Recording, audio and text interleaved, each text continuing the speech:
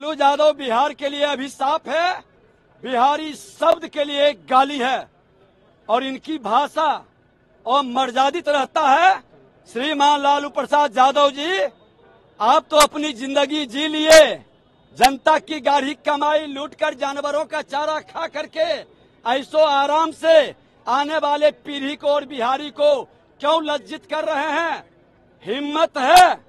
आप गरीबों के अंतिम पंक्ति में बैठा व्यक्ति को अगर जो कोई आगे बढ़ा रहा है तो देश के प्रधानमंत्री नरेंद्र मोदी जी, आप गरीबी के, गरीबों के, दलितों के, शोषितों के, अति पिछड़ों के हिमायती बनने का, भ्रम फैलाने का खेल न करें। हिम्मत है? तो घोषित करिए कि जादव समाज में जो पढ़ा लिखा काबिल आदमी है, उसके नौजवान का प्रतिभा है, वो अगला मुख्यमंत्री बनेगा। है हिम्मत? अपने परिवार से बाहर निकलिए।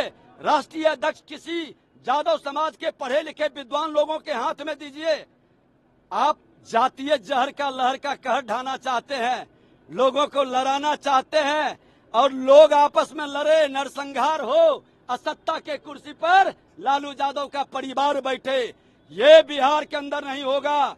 विजय सिन्हा ने खुला ऐलान किया है कि चाणक्य का वंशज असली चंद्रगुप्त चुनेंगे नकली चंद्रगुप्त जो बिहारी को लज्जित करे और बिहारी को कलंकित करे, ये कतई नहीं होने देंगे।